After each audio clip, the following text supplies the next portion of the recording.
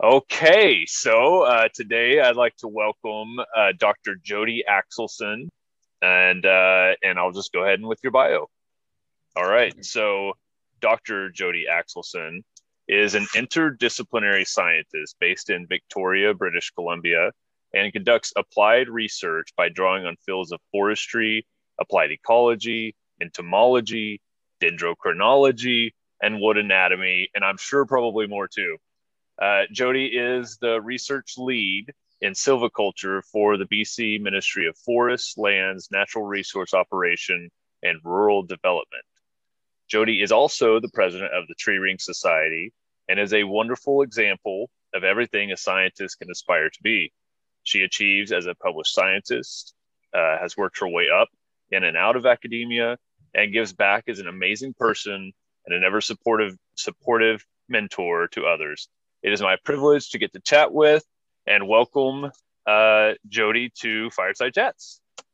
Thanks so much for the invite, Joe. I was really excited to get it actually. I was like, yay, fireside chat. good, good.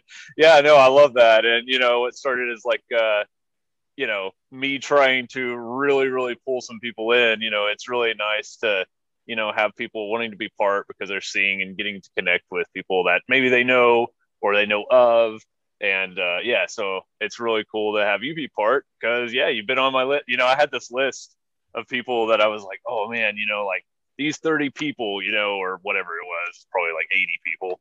You know, I really want to get them sometime, and you were definitely one of them. So yeah, I'm glad you're here. Mm-hmm. And now that you're here, I'll go ahead and start by asking you just kind of start with just telling us uh, who you are, um, what Jodi does on a day to day, and how you got there because I know there's you know a whole life history and you can start wherever you like or leave out whatever you want to. It's your story to tell. Yeah, it's probably going to be a long and rambling answer, like I feel like my life is. yeah. So I'm located in Victoria, British Columbia today, which actually is on the unceded territories of the Lekwungen speaking peoples. And, you know, we're in an interesting space in British Columbia. Um, the government and sort of socially about recognizing, you know, through the UN Declaration of the Rights of Indigenous Peoples. And so acknowledgements feel a little, um, to me, a little like we're saying something nice, but it actually, I'm coming around to the to this idea that it's it it's important to acknowledge our like settler colonialism um, as uh, you know as a white woman i grew up in, in the interior of british columbia and and my parents actually on my mom's side she's the first generation to be born in canada. So you know my grandparents were born in various places in europe. And so i do think it's an important acknowledgement. And i think i am not necessarily i don't know how to proceed but uh, that equity in science and how you do our how we do our science which are on these traditional and unceded territories and how we engage really meaningfully and not like just through an acknowledgement per se is something that's on my mind a lot. Although i don't know really how to move forward because i'm a tree ring scientist and i look at forestry and i look at insects. And so you know i think science is interesting because it constantly puts you outside of your comfort zone. And that could be in the statistics you're running, it could be in thinking about that greater picture about where you fit in the world and and acknowledging the inequities that are all around us you know on multiple fronts. Um, it could be you know your employer. There's just so many places to be uncomfortable in science. And i like that it can get a little tiring when when you're uncomfortable a lot. Yeah. And so I've been kind of on the move a lot lately, I feel like. I've been back in Victoria for a year, just over a year. Um, but before that, I was in Berkeley. Before that, I was finishing a PhD and in a really small community called Williams Lake in British Columbia. And in all of these different roles, I've sort of worn a different hat where people sort of see me in a particular light in Williams Lake, I was an entomologist. Um, here I'm a silviculture research leader. Um, Berkeley was sort of the most holistic in that I was a, a, an extension professor in forest health. And so forest health was maybe the best label because I don't really like labels, which goes back yeah. to my interdisciplinarity because so much forest health is, is a catch-all for a lot. You can be looking at drought, at insects, at fire, at forest management regimes, and ultimately how they impact forests. And that's the thing I like the most. You know, how does the environment influence or push on forests? How do they react? And if you're able to look at them long enough, do they resist the, the stressor? Do they are they resilient to the stressor? Um, but I think you need time to look at that, which is why tree rings are so awesome. So that's kind of a brief uh, story of why I'm sitting in Victoria at this present moment. Um, yeah. No, that was great. No, and you touched. I, I love that you started with the land acknowledgement, and you know, it it really is something that, um, it is. I I would say I am in that place of just absolute absorption and learning. Um, that I have so much. I, I think I'm at a place where I realize how much I need to learn and how much potential I have to grow into that space. Um, I've been wanting to do land acknowledgement on uh, all the fireside chats, and Oklahoma, um, as you probably know, has a very complicated history with mm-hmm. land um, ownership, uh, if you will. I hate using land ownership, but it is what you know it's understood to be. And you know, we had um, forced migration um, resettlement of so many different tribes and nations of people um, throughout the history of the United States uh, and Canada, obviously. But um, you know, Oklahoma is was really like what they tried to do is just make it this melting pot of, you know, where everybody who was indigenous from the east was forced here, and uh, at one point in time. You know, that was the, the attempt at least. And so now, you know, trying to tease apart, and this is where I really need to do a lot of work at getting with Indigenous scholars um, and uh, elders and people who are knowledgeable of, of, their people and their culture and the history of what's happened in Oklahoma. Um, because you know, I know of like Osage and uh, Potawatomi people and uh, you know there there were so many different tribes that were here as kind of the plains you know tribes um, and it, a lot of it was uh, highly like migratorial you know here at hunting seasons and you know and then not and you know i just don't know so uh, i'm so glad that you brought that up because that is a crucial piece that needs to be uh, explored more by myself so I guess I kind of went into a whole tangent about that, but it it deserves it, right? And so yeah, it I'm, does. I'm glad, and it's not. I'm glad you brought that up. It's not easy to approach necessarily. Like as you say, there is this amalgamation through you know the history of what happened with displacement um, of indigenous peoples in the U.S. And so it's not straightforward. It's not straightforward here either, where less of that happened. Mm-hmm. um, in the in the Arctic communities that happen more, but in, in British Columbia, I would I would say that um, nations were not moved great distances around. They they have existed and continue to exist in their traditional territories, obviously in a completely different way. But yeah, yeah, it's uh, it's it's it is really important, and I I'm wanting to spend more attention thinking and, and learning, actually learning. I have a lot to learn about that space um, because I don't want to, you know, you don't want to do something wrong, basically. Yeah. You don't want to offend people. You don't want to, yeah. you know, and working with the government adds a little bit of a, uh, an extra layer to that. Yeah, yeah. Right? Layer because I'm representing the yeah. government and I'm working right. on behalf of the peoples of this entire province. And so that feels a little more tricky, but something yeah. I want to do. Yeah, no, for sure. And you know, like, you know, I, I think it's so important for um I think white people tend to be with our white fragility, right? Like we tend to be fragile in the other sense that um, if we're more on kind of that progressive bent, that it, you know, I hate that it's even it should just be a, a, just a normal human thing. As we try to be more human and uh, humane about how we treat people and their history, um, we tend to be fragile in the sense of not wanting to talk about this openly.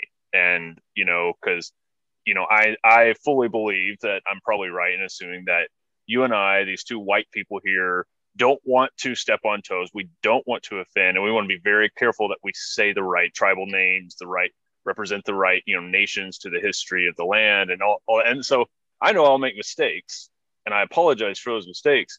Um, but if two white people aren't going to sit here and talk about these things, um, then what are we? Are we relying on Native Americans, uh, Indigenous people to tell us their history? Like exactly. that's our job. We need to be pursuing it. We need to be talking about it and normalizing these conversations that are, you know, yeah, they're delicate, but really like we just need to learn more and then we can talk about it better. So thank you for thank you for that. Thanks for this discussion because it needs to happen more often. And I definitely acknowledge, you know, it's it is it's extra layer and complexity uh, for you, you know, being a representative of, of Canadian government too. Yeah, you know, it's we see so often the people doing the work, the people most disproportionately impacted by diversity, equity, justice, and inclusion issues are shouldering the lion's share of the work in the space. Yeah. Mm-hmm. And that's, I think, what really needs to change. Um, and uh, when I, you know, I've been involved in the Tree Ring Society since, oh, I forget the year, but maybe 2016. I started as the vice president. Mm-hmm. Yep. Um, and it's a great group of volunteers that work on that executive council. And we try to, you know, for an international tree ring society, try to um, represent the mission of the society, which is education and dendrochronology and research in dendrochronology, really, really fairly and and well, and also acknowledge, you know, the tide change around us. And so we started the the we had the recognition that we needed to advance our own policies on professional conduct, harassment and bullying and and enter into that DEI space. I think as yeah. physical scientists, you know, we go, oh well, folks in the humanities are dealing kind of with that, right? Yeah, right. It's not something we really need to talk about. We're a really you know, we're a really nice, inclusive community. Like we're good. Yeah. But it actually bears like thoughtful exploration of like what we need to do, what we hold our members to account. Yeah. Um, and so, you know, that's been in my thinking broadly in the scope of dendrochronology and then also how I interact in the world as, you know, Jodi you know, like a daughter, sister, wife, uh, beagle owner, gardener, and then as like a scientist. Yeah. Um, you know, and and all those spaces in between. Yeah, no, I like that. I mean, that's it's about bringing your whole self uh, everywhere you go, um, being open, being vulnerable, uh, in in a place that also holds boundaries. Obviously, you know where they need to be. Uh, yeah, I love that you brought up, you know, the Tree Ring Society as well, um, because you know it was about right. It was actually a couple years before uh, you became on the council, was to my understanding, um, that you know we had kind of the shakedown go across because of you know um, the guy who you know really was just awful and did a lot of horrible things, um, and and that as as a person coming into it. Uh, you know, I'm not a vulnerable person in the sense that I'm a white guy in my 30s, you know, like I'm not bringing a lot of, you know, uh, yeah, a lot of hurt, you know, and a lot of vulnerability there.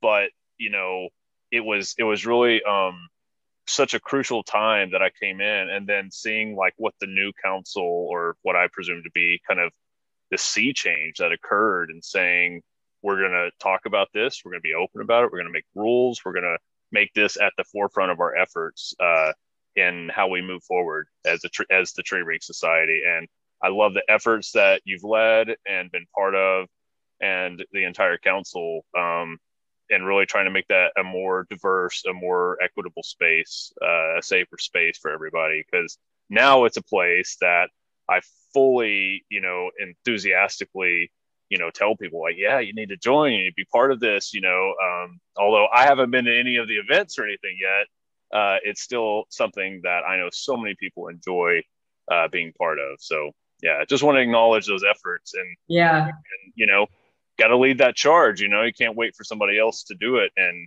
and I'm glad to see that you you know haven't done that. You haven't waited.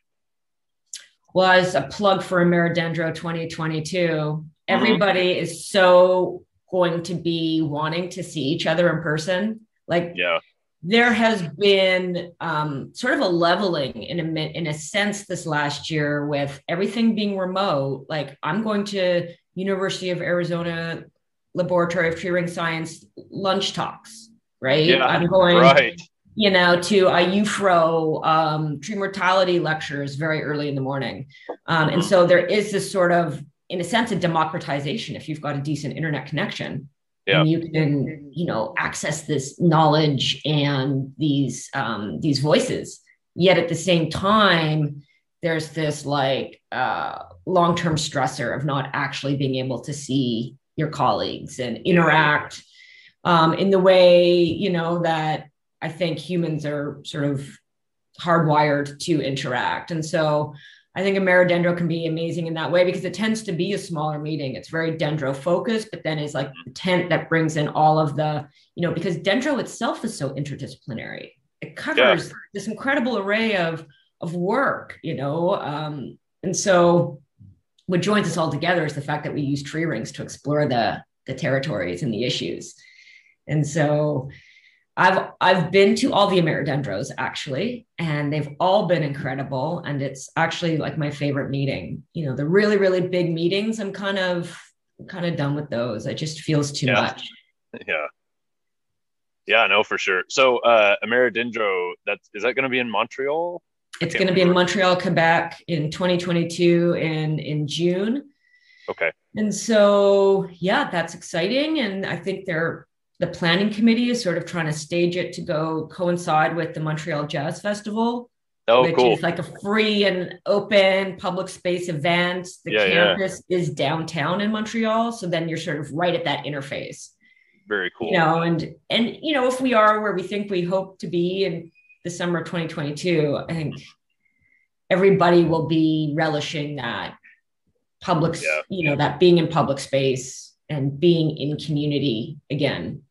Yeah. and I really sure. value that about dendrochronology. I find it a really rich community, and I think it can only get richer by dealing with these issues of diversity, inclusion, and equity, as we were just talking about, right? But Yeah. No, for sure. Yeah. I, well said. And yeah, that's sounds like a very exciting event, you know, and for, you know, I think everybody, I mean, that's what, you know, sort of these fireside chats is just like, man, I miss people like, and, and, you know, as somebody who is, you know, pretty introverted, you know, but I like to get out and mingle with people too.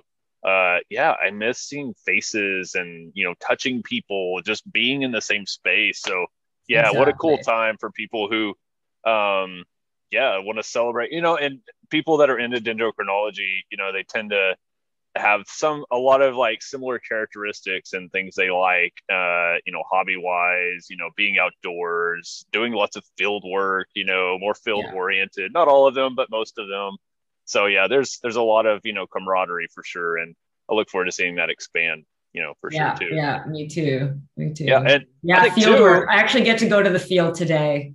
oh cool yay Yeah. yeah Really see you just you like lit up because like oh the field i love the field yeah that's cool Yeah. So what are you what are you doing today? Uh, generally speaking, or whatever. I don't want to like intrude. So we have what we call EPs. They're called experimental projects all around the province, looking at different types of questions. And we have a number on sort of southern central Vancouver Island. Uh, well, they're all over the province, but the ones we're focused on in this study are in southern uh, central Vancouver Island, and we're they're they're old fertilization uh, trials where Okay. the trees are roughly about 40 50 years old And within this experiment, everything is planted at a fairly regular spacing, and paired trees are fertilized or not fertilized. Mm. And they're considered pairs experimentally because they have similar crown areas, heights, DBHs. It's all single species. It's all Douglas fir in this particular experiment. Okay. And so we're the BC government's a member of the Stand Management Co-op, which is a large uh, research and development cooperative housed under the University of Washington and has membership in Washington um, and Oregon, British Columbia. And so there's these studies across mainly the kind of the coastal region. There's also studies in the interior, but the work we're involved in in the BC government side tends to be on our coastal installations.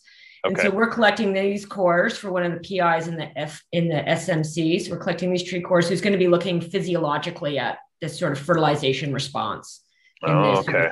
non-fertilized individual and a fertilized individual, looking at carbon, um, looking at sort of isotopes and early wood, late wood, etc. So I go out with a technician I work with who has me using a drill bit on the increment oh. bore, which I do not know how I feel about this. Yeah. Okay. Yeah. I, I think you post. Did you post a photo I of that? I posted a yeah. picture because we're sampling at DBH, and my my beef about forestry is why did it have to be a tall German or French guy that yeah. set up DBH? That wasn't very equitable, was it? This height. yeah. So yeah, there's no leverage up there. Even yeah. manually is a pain at that height, but using like a drill, like a yeah. drill, and not so great. Luckily, I'm the technician I work with. Um, his breast height is he's tall, so yeah, yeah. He yeah. does a lot of the coring with this drill. Uh, I do the uh, the straw. I'm the straw bagger. Okay, all right, yeah, yeah. You're the tech in this in this case. yeah, exactly. okay, yeah. I yeah, I wondered, you know, because I I've thought about buying a chuck, you know, to to fit, and I just thought, hmm, I don't know. Like, there's there's part of like, uh, I know tons of people do it. Like, I know people do it. Um, yeah. But uh, for me, I just I think maybe I just need to just do it and try it. But I just feel like, oh, do you, know, because it may you know, obviously like uh manage trees, you know, uh plantation style, you know, obviously that's different um, you're not really probably worried about hitting some hollow pocket, but for me, like coring some 200 plus year old oak trees, you know, uh, here in the South, I, I worry about, you know, would I, would I feel it? Would I yeah. get borers stuck and have to retrieve them? So anyways, I would say that's a consideration. You know, we got, uh, Dave got the borer really stuck because you can't feel that softening in yeah, the core. And, gives, you know, these yeah. are softwood, so it's also not putting a lot of torque on the actual increment. Core. Yeah. And yeah. they're small trees, so you're using a short, a short increment borer. Yeah. You know, it definitely makes things faster. I think it has its place, but I am kind of old fashioned. I like analog. Yeah. I do too. Um, I do um, too. To to my benefit or hindrance, I'm not sure. exactly. Like part of the whole thing about field work is sort of the quietness Mm-hmm. You know, the you know, in my master's days where I was doing um, like dendrohydrology, you know, was that hiking around looking for those beautiful old trees yeah. on you know those west and southwest facing slopes and mm-hmm. you know cozying up on a cliffside to a limber pine figuring out where you could actually get a solid core and yeah um, of course in forestry that work changes a little bit because of the experimental designs of things are quite yeah. quite different than a dendroclimatic approach but. Yeah yeah that's still really cool work. I mean yeah. it, that'd be really interesting to see what comes out of that seeing what tree ring responses to untreated and fertilized plots that's pretty or trees that's pretty cool. Yeah. Pretty cool. I, it's always cool. Like it's always fascinating to see what somebody's doing with tree rings you know? Because there's just so many so many different options. Sorry I, I keep I keep swatting at mosquitoes that are okay. So yeah. it's that time. I, I don't I don't know. I might have a mosquito net for the next fireside chat. So yeah, well that's cool work. Uh, so I did want to ask you too. So what um that transition that you did from you you came from California to back to BC, right? Yeah. So what you know what was what kind of prompted that or what what kind of led you to kind of be doing the leading the group that you're doing now Yeah, it's funny. You know, I was still doing my PhD. I was in that classic ABD um, limbo land, the all but dissertation. Yeah. Working Yep. full time as a forest entomologist um, in a region of British Columbia that was really hit by mountain pine beetle. So they were like, Mm. please don't let any bugs kill the trees. So very Yeah. active on the forest management side and kind of monitoring insect populations. So, you know, slugging through trying to get this dissertation fully written. Yeah. And I see this job at UC Berkeley for a cooperative extension specialist. I didn't even know really what that meant because we don't have the land grant system or the extension mission in the Canadian Okay. system. I see. But I read this description, which I think I saw on ResearchGate or somewhere like pretty Hmm. random. And I was like, oh my gosh, this is like the inside of my brain written on paper. I have to apply. okay. Yeah. So I apply. You know, all my degrees are in geography Okay. from Canadian institutions and not like the big Canadian institutions people think of, like UBC or McGill or University of Toronto. Pretty small Right. schools. So I just sort of throw this in on a lark because what they seem to want is highly aligned to what I can do. And I forget about it.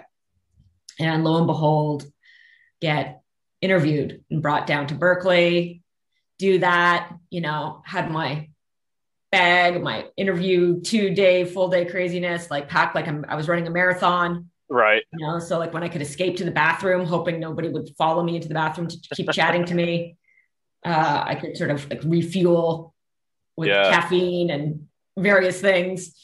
Just Um, survive through it. Right. survive through it exactly.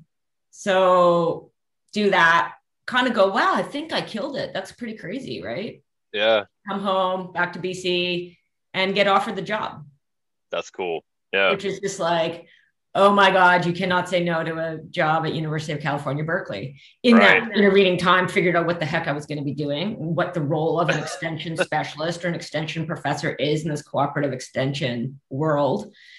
Went down um, at the end of the kind of the California drought. It was at the summer of it was the summer of 2016, I guess. Hmm. Got down there and uh, and all the trees are turning red. And Californians had never really experienced a bark beetle outbreak before. Like Oh wow. there, there have been little discrete outbreaks in the San Bernardino Mountains and Yeah. the Transverse Range. the 1930s, there was a large bark beetle outbreak throughout the Sierra Nevada, but of course, nobody remembers that. And so Right. everybody's losing their minds, right? They're used to wildfire as a disturbance. They're not used to this one two punch of drought and then massive tree mortality due to bark beetles. So, boom, extension, like full year, just like these are native bark beetles. This is what's happening. Don't plant Norway spruce on your property, like because you're afraid of bark beetles killing your trees. Yeah. Yeah. And an amazing, amazing position. Um, you know, Trump got in four months after we started the position. So that felt pretty rough Mhm. um, especially because our own conservative government in Canada had just ended, and we were in a in a more uh, liberal or Democrat uh, run administration. right. So it sort of survived the Harper years, only to arrive to the very end of the Obama years and like live through the Trump years. yeah. Yeah. Complete opposite. Yeah. Exactly. And, you know, I found such collegiality and great mentorship and great colleagues at Berkeley. But ultimately, it was the, you know, it's the ultimate life question. Like, what do I do when my partner doesn't want to be here? Mm. What do I do when my family is all in British Columbia? So, Yeah. as I tear up about, you know, leaving Berkeley, but Yeah. Yeah. So this opportunity with the BC government came up, and it was like, okay, this is a like a solid stepping stone to maintain a research scientist position Mhm. in BC. Um, we own a house in Victoria, BC, which we managed to keep all those years in different locations, Wow. kind of stringing along. And it was like, I can't turn, you know, I can't say no to this because, you know, the work side of my life is really full. The life side of my life or the personal side of my life is really low. Yeah. And so can I balance those? And so that was the sort of the impetus to come home. Mhm. Um, so we did. then pandemia came along like three months later. Yeah. And um, obviously, we've all lived through that. That's been pretty crazy. And so it's been pretty nice to be in my home with my partner. Um, yeah.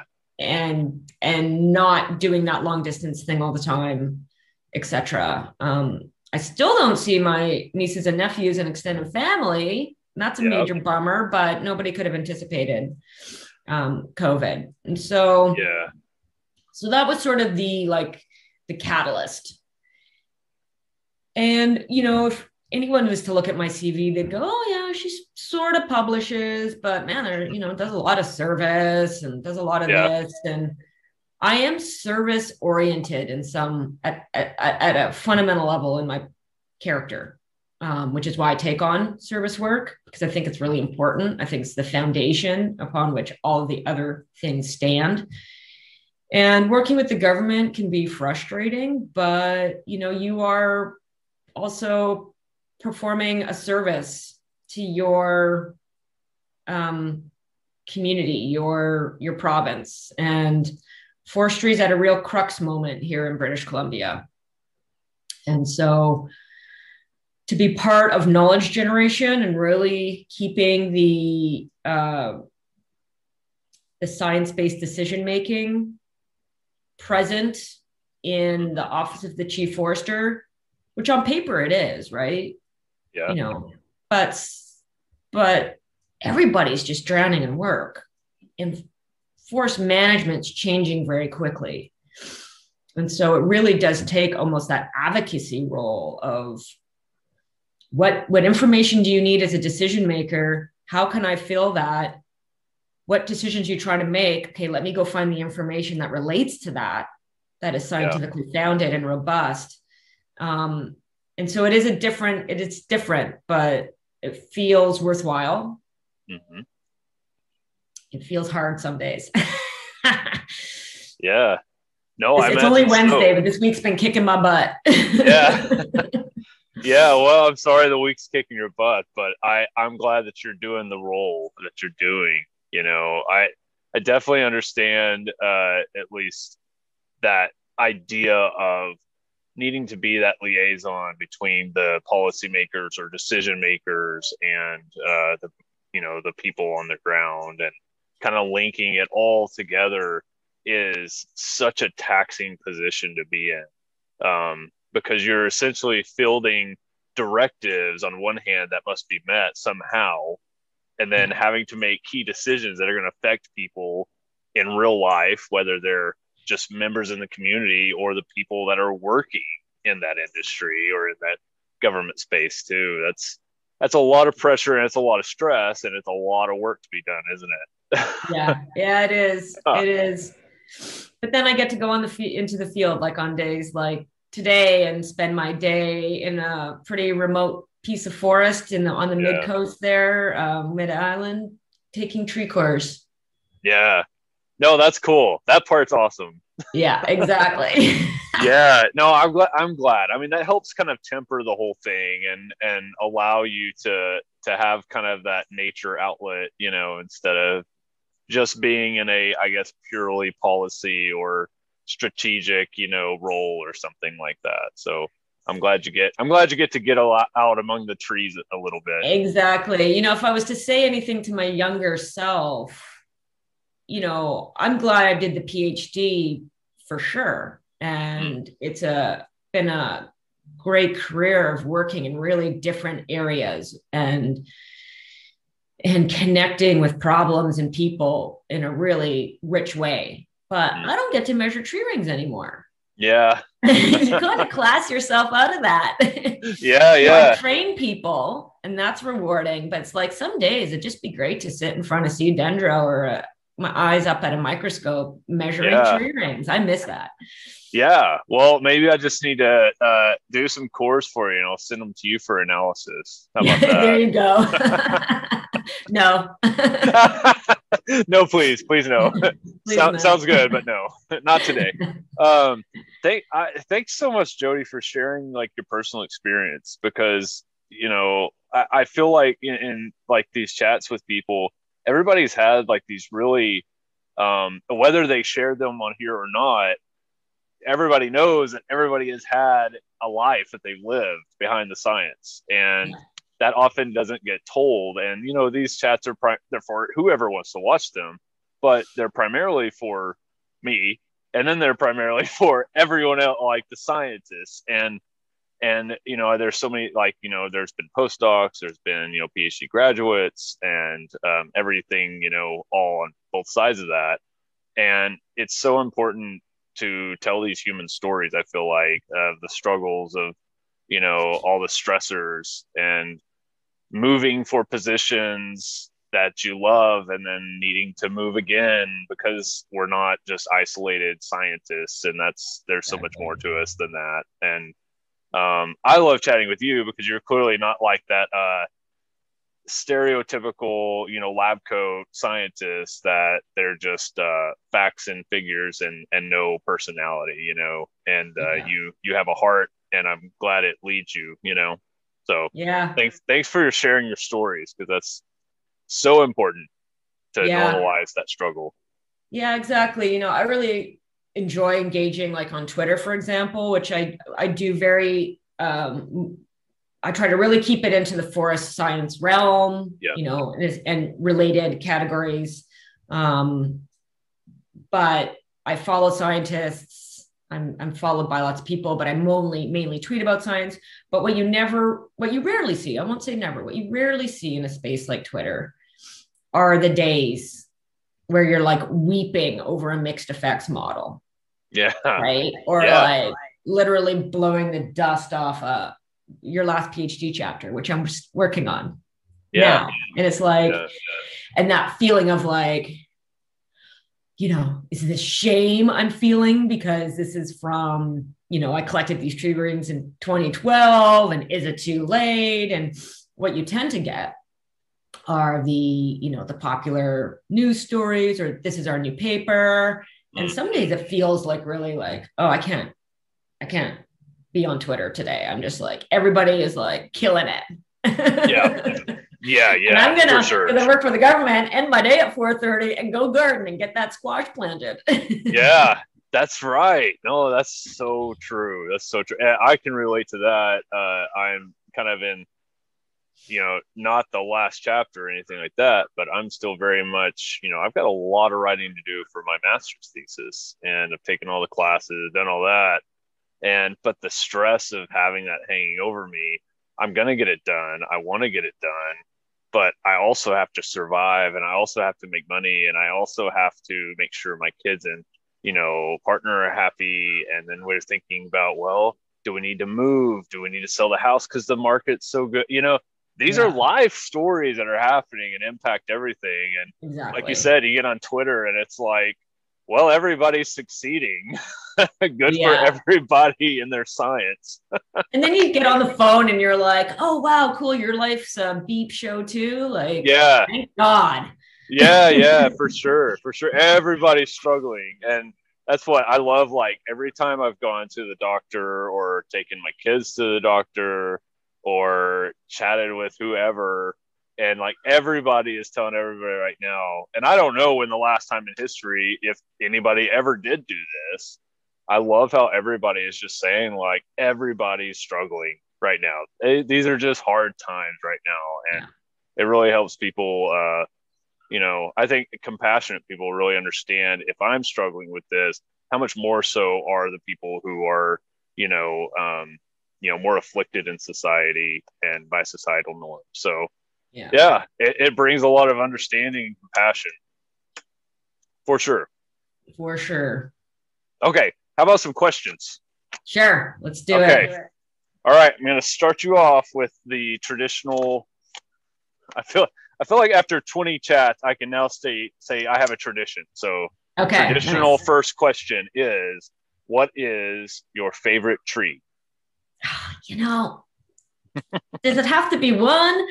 No, it can be whatever. You can talk about five, or or you can just talk about whatever. It doesn't matter. You know what? I will say I do have a favorite, and it's really pedestrian, which always is slightly embarrassing. But I love me some Douglas fir. I love Yeah. it. I love it. I love it. Yeah. I worked with it in my master's. It's got this incredible in my PhD almost exclusively. It's got this incredible range, you Mhm. know, from like discontinuous at around what 54 degrees latitude all the way down to I don't know 29. Yeah, yeah. Something that's this incredible breadth, and so it's this tree that's like inherently so like plastic and and, Yeah. and of its environment. It lives centuries. It's it's tough as nails, but you like rub it the wrong way in a harvesting operation, it is gone. It is dead. So it's incredibly sensitive. You know, Yeah. I just I just love the Douglas fir, I have to say. Yeah. Yeah. So incredibly tough, but yet very sensitive. It sounds a lot like you, doesn't it? Yeah, exactly. exactly. All right. Uh, what is your favorite fireside food and beverage? Fireside food and beverage, uh, beer definitely. hmm Um, blessed on the West Coast with just a, a absolute plethora, Yeah. ridiculous buffet of craft beer. Uh huh. And Yeah. I'm jealous. um, I'm jealous. yeah. I, I will say a plug for Oklahoma. Um, Oklahoma is really come along. They, they've got a lot of little microbreweries and stuff like that, but it's definitely not the West Coast. And I love cider, and I hear that you all have amazing cider in Pacific Northwest, and Yeah. you know, Yeah, good apple growing country. Actually, I was in Oklahoma. um, Oh, wow. Visiting Henry and Oh, uh, yeah. others, and so we went to a little microbrewery. It was really good. oh, really cool. good. Do you remember the name of that one? Was it? I guess is that OH or Oklahoma State University? Yeah, Henry Adams. Yeah, yeah. yeah, Uh, I don't. It was sort of brick-like. yeah. I, I can't remember. There's there's like Mon- Iron Monk. Was that the that the Yeah, one? Yeah, I think it might have been Iron Monk. Yeah, Yeah, I think That that's the one in Stillwater. Okay, so, So you got I'm a beer and chips gal. S'mores Okay. disgusting. If I have dirty hands around a camp, like in the field, generally, I'm just like unhappy camper. Yeah, So yeah. Totally dish s'mores. Mm-mm. Yeah, okay. Yeah. Nothing you need to like lick your fingers afterwards. No, no. Yeah. Like I could get fancy and eat something nice around the campfire, but if you're just Mhm. noshing on some chips and drinking a beer, life's pretty good. Yeah. No, I agree with that. Okay.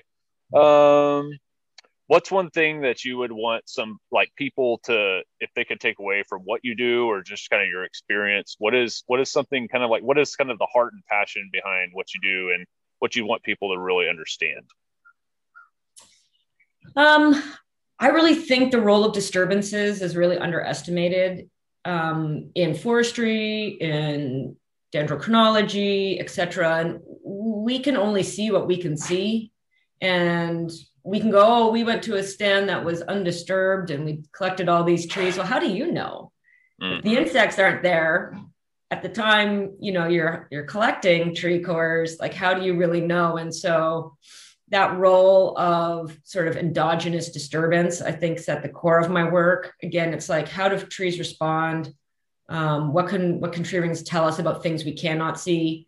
Um, I think people should just be really careful when they when they are in these stands that have never been affected by anything except climate. To remember that it's a big wide world out there um, pushing around on trees, and they're responding to that. And so um, I have a colleague who jokes with me like, "Oh, you only said disturbance in that talk like 20 times," and I'm like, "Because it's important." yeah yeah come on get it already disturbs dendro as a handle for Twitter. I yes, I know. I wanted to point that out. I love your Twitter handle, disturbed dendro. Yeah, it's a double entendre as well because I'm sort of disturbed, you know, partially. yeah, yeah, I, So- yeah. I know. That's. I wonder how many people like you know which which side of that uh, coin they're gonna you know prescribe to you. Is it are you disturbed or are you a dendro that studies disturbance? Like what's going on Both. there? Yeah. okay, cool, cool. All right. Yeah, no, that's good. I like that. Um, let's see. So you already answered though what you would say if you could go back in time. Was there anything else that you might say to younger Jodi? You know, I wish, um, yeah, you know, I was like bad at math. I got told that in grade three or four or something. Mm. And so I got Yeah, stranded at the dining room table by myself doing math that night because I had to get better at math. And then I had a horrendous science teacher in grade nine who like literally like busted out the overhead projector cellophane thingies, you know, Yeah, and just like twisted through his notes. Like the guy was on autopilot and he had a mean Yeah. streak. And I abandoned science completely. Oh, Like wow. by grade nine, I'm like, well, I clearly suck at this. I'm going to be a journalist or a writer, and I'm going to do the bare minimum required to, you know, mm-hmm. graduate on the science and math front. And so I wish I had not made that decision. I wish I hadn't let those sort of narratives get in my head. Because, you know, out of all the things I do, it's sort of the statistics that make me really jumpy still. You know, everybody thinks, oh, you have a doctorate, you Yeah. must be amazing at statistics. You know, Yeah. I'm, I'm still it. I'm pretty good at it, but, you know, it's still that place I feel a lot of discomfort. Um, So I sort of wish I had been maybe a little bolder as a kid and been like, okay, well, whatever, this is just one person. But you know, Mhm. adults, when you're a little kid, have quite a bit of sway in your life. So Oh yeah, yeah. Power dynamic is definitely skewed there. Yeah. yeah. No, that's great. No, I can definitely identify to that. Statistics, you know, I am not good at statistics. I rely on a lot of learning in the moment, not on the foundation that I built and everything else after that. I have to really study it to, you know, get my numbers and really pull any significance out of things. Yeah, it takes me a lot of work. So Yeah. I, I can identify with that. And uh, yeah, I, I think cool. It's really cool though to me. I was actually uh, my friend Bill was over here um, this weekend, and uh, we're all vaccinated now. Which I know you got one vaccine, right? Or did you get both? I Yeah, got way to- one. Yeah, we're a little behind here in Canada, but yeah, I got Yeah. my first on Monday. I was really pleased. I teared up. Yeah, that's awesome. Well, congratulations. I'm I'm really happy for you doing that. But you know so we were able to get together and stuff and uh you know we were talking about how much sometimes it pisses us off when when people say um you know well you know you've got all these communication skills or you can just uh you know you're so natural at this. And bill bill's like it pisses me off when people say that. Because like no i worked at for him he worked at best buy for 17 years he worked himself up from you know nothing and had to overcome so much awkwardness and social anxieties to become able you know to be to appear gifted and natural.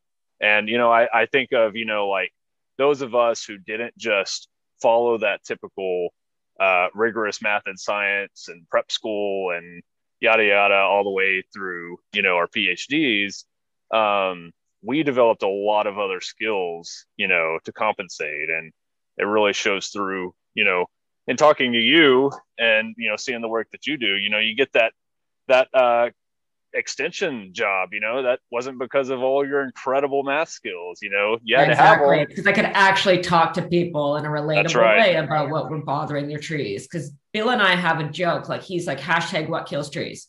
yeah, And I'm like, Bill, hashtag what bugs trees. Yeah, Who done it? Doesn't matter.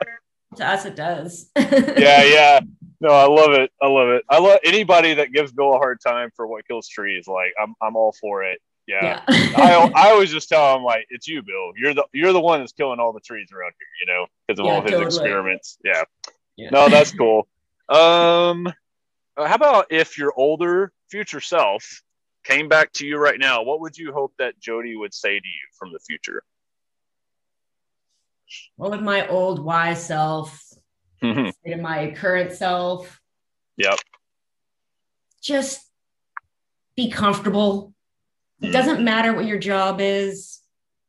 Really, I work in science. I am so uh, blessed. I have a research scientist position. It doesn't matter if it's academia or government or the feds or the province or, um, you know, it doesn't matter. Do the work. Uh, just be comfortable.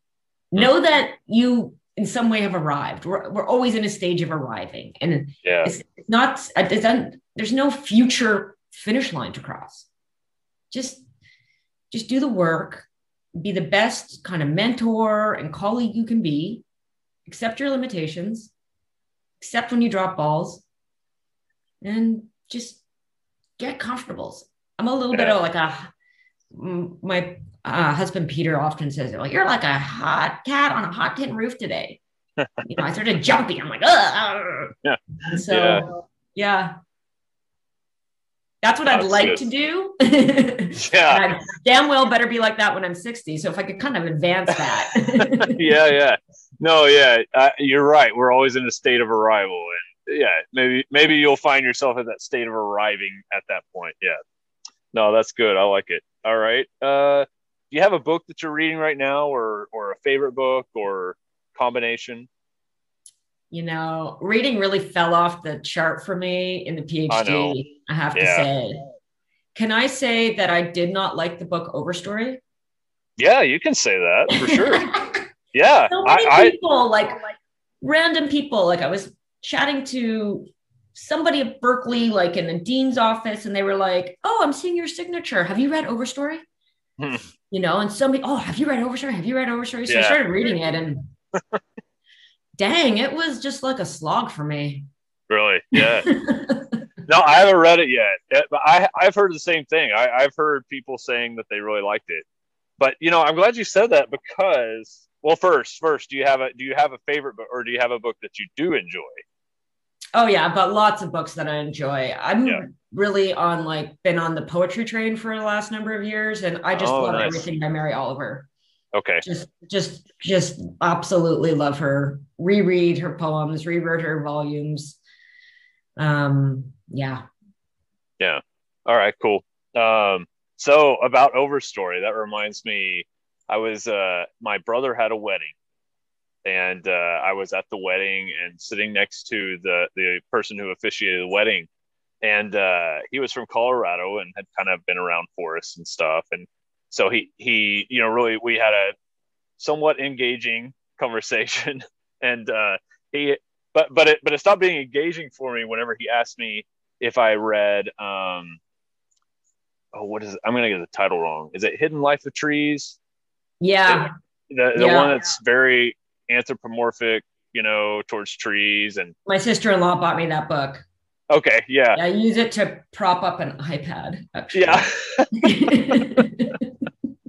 but you know, and, and like, you know, he raved about the book and and I I, I absolutely hated the book. Uh I, I listened to an audiobook of it and yeah, his voice was fine, you know, and everything, but uh no, like it just everything about it sat wrong, you know, and yeah. It just oh it was awful but then i've heard like you know i have not heard very many scientists like the book but i've heard a lot of just you know just your normal you know non-scientists like it and i get that i get Yeah. that but and that's what probably frustrates me even more Yeah, that yeah. this is what they're getting into but you know whatever to each their own i guess Yeah, exactly. you know, on fiction side, I will say Wallace Stegner, he's not this really well-known off. I don't find like people like widely know about Wallace Stegner. Mm-mm, He's really amazing. okay Um, he writes really beautifully about uh, you know, the plains and sort of the American West. And I've started to Mm. reread some Wallace Stegner books and um thoroughly enjoying that. oh good well i'll I always, you know, it's funny. I always want to like find myself writing whenever people say this, and I forget that it's recorded, so I can just listen to it in a minute. but okay, yeah, I'll look it up. Wallace Stegner. Okay. Um, if you had to be a tree or plant, what would you be? Would it be the same as your favorite tree? Um, I want to say yes, it would be the same as my favorite tree, um, but I'm going to say no. Uh, Suzanne Simard has come out with a memoir called Finding the Mother Tree. hmm And it's interesting because that Hidden Life of Trees is a, fairly massive distortion of her Yeah. life's work. Yeah. Um, and so that role of a mother tree in a forest, I think, is really amazing. But I would actually say oak. I'd like to be a Garry Oak. We call them Garry Garry, Oaks um, here in British Columbia, um, Quercus garryana. So I guess blue oak okay. is what they're referred to as. Are they referred to as blue oak? Well, there are some blue oak down here too that are not Garry. I think. I don't know. There's so many oaks, and I don't always. It might be. Oregon blue oak is the U.S. Oregon blue oak. Yeah, that's Oregon right. blue oak is the common That's name in the right. U.S. In BC, we call it Garry oak, based on, I guess, probably the fact that it's Latin as Garryana. That you know what? That's yeah. Actually, uh, probably somebody that you know pretty well. or know of at least is uh, Kelsey Copes Gerbitz. Yeah. Uh, yeah, she was the one that told me about uh, Garry Oak. I had no idea that it was called Oregon Oak or Oregon Blue. I, I had never heard that. I just thought I knew Garry Oak, but I didn't know there was like a, a, a different common name, which is why common names can be confusing. But yeah. yeah. Well, cool. No, they're just really cool trees, I think, and I, I'm always really admiring of oaks. Yeah. You know, I don't Me know too. why Garry Oak today, but if I can't yeah. be a Mother Douglas fir tree, I would be a Garry Oak for sure. okay. All right. no, that's great.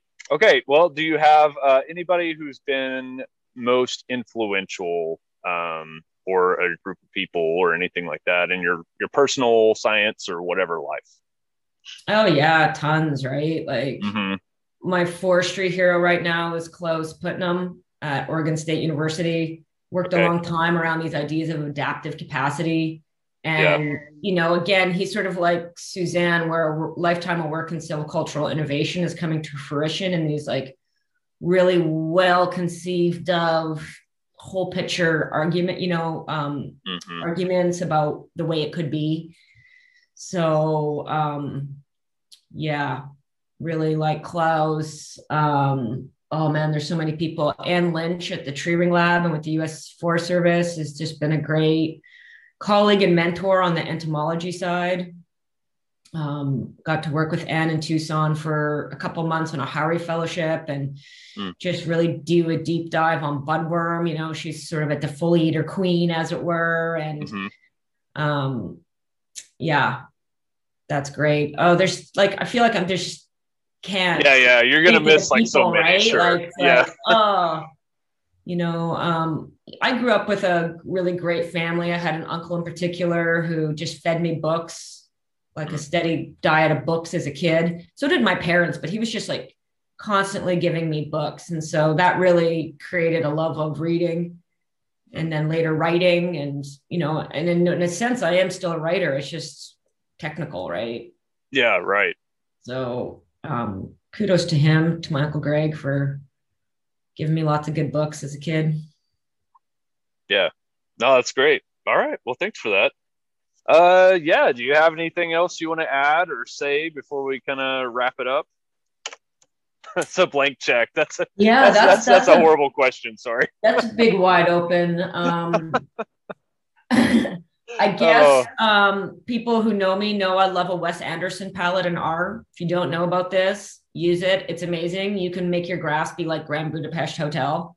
Okay. Or Moonrise Kingdom has been a big one lately because I've been working so much in tree mortality. It's like the perfect palette.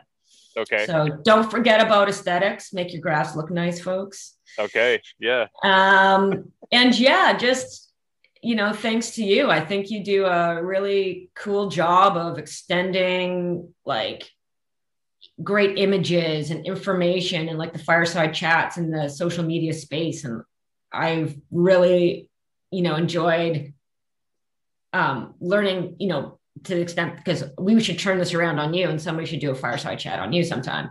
Um, to the extent that you ever know somebody on social media, right? But yeah, in terms of like what you're posting and like sharing like your tree ring cookies, beautiful images are like, oh, it's like self to my soul. And I've got like a lot of what feel yeah. like um, crazy meetings going on and get on Twitter real quick and go, oh, yay, Joe posted a picture of a beautiful little cookie.